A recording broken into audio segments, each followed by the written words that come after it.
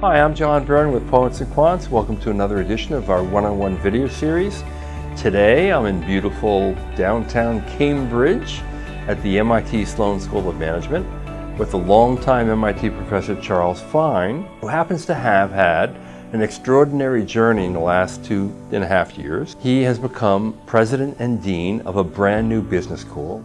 It's called the Asia School of Business in Malaysia. Welcome, Charles. Thank you, John. So, how in the world did you get on this journey of yours? Well, about three years ago, MIT Sloan School negotiated with the Central Bank of Malaysia, Bank Negara, an opportunity to partner and build a world class business school in Kuala Lumpur. And you enrolled your first MBA class last year. It's a 20 month program, uh, but, but it's extraordinary in every kind of way because you literally brought out a blank piece of paper and drew up what you considered to be what an MBA program today should really look like. That's right. We started with a strategy. Uh, the strategy included what should the curriculum look like and what should the people look like. And the curriculum we decided should be very action learning focused, very clinically oriented, and the people should be MIT faculty teaching MIT courses to students of MIT caliber. We felt like action learning, that is clinical work, interaction with companies, project-based work, was central to where business school education was going.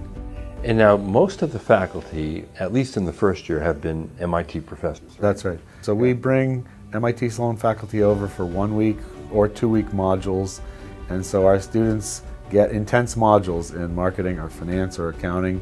One week, that's all they're doing for those weeks. Then other weeks, they're off on their projects for intense weeks. It gives us a huge amount of flexibility to build in the project work and the academic work. And you've hired some resident faculty, of course. And it sounds like you've rated some very good schools for their PhD talent. We, we've done pretty well. So we've hired nine faculty. They're from eight different countries across four continents, also international. We have one with a Columbia PhD, one with a Stanford PhD, one with a Harvard PhD, one with an MIT PhD. So we've gotten some strong players. They're all young faculty, so new PhDs, but we think they're people with high potential and they'll grow with us. So, Charles, 35 years as a professor. You've never really been a dean before. You've had, some managerial positions, and you've done a good deal of consulting. What's it like to be the dean for the first time and also of a brand new school like this?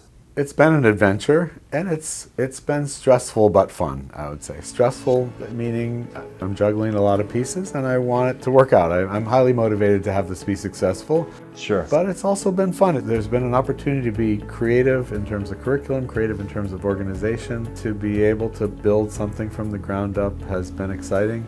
In some sense, once you get rolling and th positive things happen, you get positive feedback. It helps you grow, and so that that's been the fun part.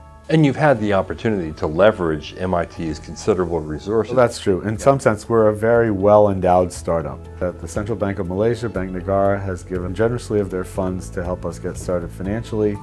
And MIT Sloan School has given generously of faculty, staff, curriculum, and other capacities to help us get started. So we're, we're not a scrappy little startup in one sense. We have two very successful and mature parents, and those parents have helped us a lot.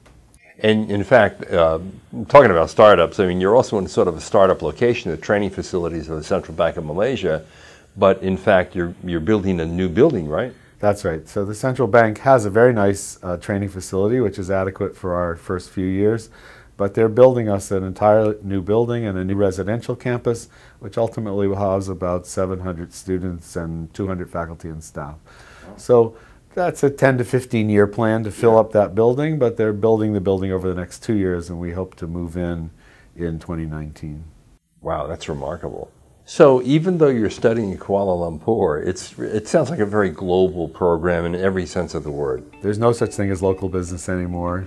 Everybody has to understand global business no matter where they work, and the advantage of going there, being there, and working there is very different from just studying about there.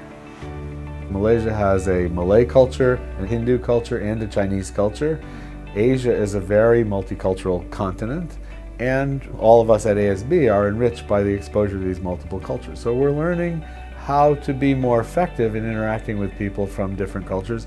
And even if you meet someone from a culture you've never been exposed to before, you have a much better understanding of the range of possible behaviors that may be acceptable or unacceptable if you've been exposed to multiple cultures. And I would bet, though, that when employers hire your graduates, they're not hiring their, their typical employees, they're hiring people who they know or will expect to do things differently. So one of our corporate sponsors early on was Intel. Intel's been in Malaysia for a long time. They have a lot of manufacturing there. When they bring an expat into Malaysia from outside, it takes about two years for that person to learn to be productive in that environment. And the Intel folks said to us, with the curriculum that we've designed, they think they'll be able to take our graduates and use them much more mm. quickly because they will have already digested some of the challenges of operating in the local cultures. One, one great piece of advice for people who would be interested in this opportunity to get an MBA in Malaysia, what would be your, your best advice? So we say we want people who are extraordinary and or unconventional. Extraordinary in some sense means perhaps measured along the traditional measures that business schools look at, strong in the IQ and EQ. Unconventional might be that you took a different path, that you were an entrepreneur, you were creative, you did something outrageous and outstanding, and you have a lot to show for it. We want people who want to be active in the world, if you will. Right. Well, Charles, thank you so much. Thanks very much. It's Charles Fine, the President and Dean of the Asia School of Business in Malaysia. This is John Byrne with Poets and Quants. Thanks for watching.